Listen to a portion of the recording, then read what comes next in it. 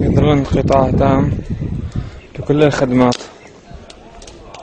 لا يتوفر سوى الحطب لإعداد الطعام.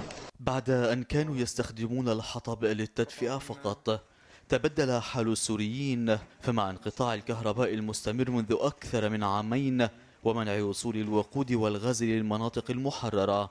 أصبح السوريون يجهزون طعامهم ويقضون كل متطلبات حياتهم على نار الحطب. صحيفة أورينت نت قالت في تقريرها إن النظام يمنع وصول اسطوانات الغاز إلى الريف المحرر ورغم ذلك هناك من يستطيع إيصالها.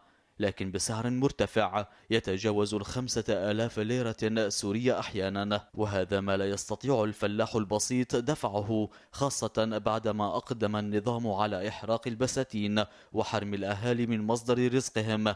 ما دفعهم للاستعاضة عنها بإشعال النار معتمدين على قطع أشجار الغابة. عملية الاحتطاب جعلت الفلاح يدفع فاتورة مضاعفة فانشغاله الدائم بتأمين الحطب جعله يهمل زراعة أرضه لا سيما المحاصيل الشتوية وغرس البساتين بشجر التفاح لتعويض ما احترق منها.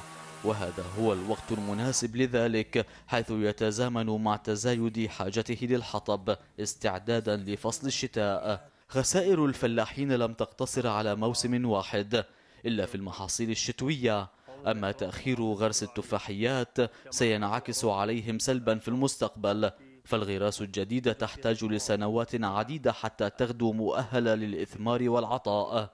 وتأجيل غرسها لسنوات قادمة يرتب خسائر مضاعفة لا يدركها الفلاحون اليوم.